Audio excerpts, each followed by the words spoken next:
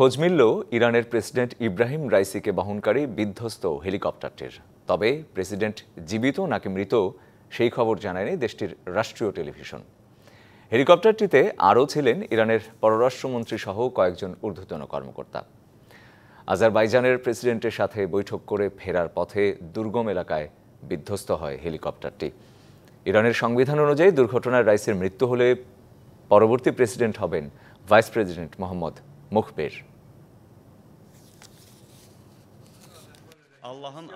রবিবার আজারবাইজানের প্রেসিডেন্ট ইলহাম আলিয়েভের সঙ্গে বৈঠকের পর ইরান আজারবাইজান যৌথ উদ্যোগে নির্মিত একটি বাঁধের উদ্বোধন করেন ইরানি প্রেসিডেন্ট ইব্রাহিম রাইসি।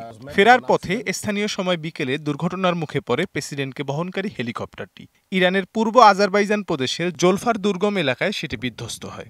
হেলিকপ্টারে ইরানের প্রেসিডেন্ট ও পররাষ্ট্রমন্ত্রী হোসেন আলী আবদুল্লাহ নিহান ছাড়াও পূর্ব আজারবাইজান প্রদেশের গভর্নর মালেক রহমতি ও ওই প্রদেশের ইরানের সর্বোচ্চ নেতার মুখপাত্র Ayatollah Mohammad Ali Al Hashem উপস্থিত ছিলেন।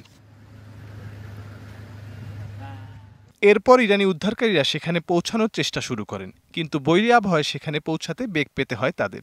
বৃষ্টি ও ঘন কুয়াশায় বারবার ব্যর্থ হয় উদ্ধারকারীরা। অবশেষে রাতে খোঁজ মেলে রাইসিকে বহনকারী হেলিকপ্টারটির। এমনটা জানালেও প্রেসিডেন্ট ও সহযাত্রীরা জীবিত আছেন কিনা তা বলেনি দেশটির রাষ্ট্রীয় টেলিভিশন। এরই মধ্যে স্থানীয় গণমাধ্যম জানায় রাইসির মৃত্যু হলে প্রেসিডেন্ট হবেন ভাইস প্রেসিডেন্ট মোহাম্মদ মুখিবার। এছাড়া সংবিধান অনুযায়ী পঞ্চাশ দিনের মধ্যে নির্বাচন অনুষ্ঠিত হবে বলেও জানানো হয়। ইরানের প্রেসিডেন্ট ইব্রাহিম রাইসিকে বহনকারী হেলিকপ্টার বিধ্বস্ত হওয়ার পর বৈঠক বৈঠক করেছেন দেশটির মন্ত্রিসভার সদস্যরা।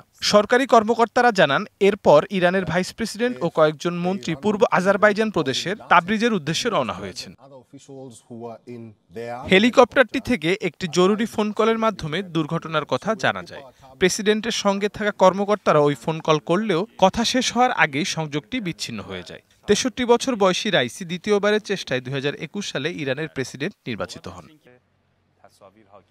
Mirza Sanowar Hossain DBC news desk.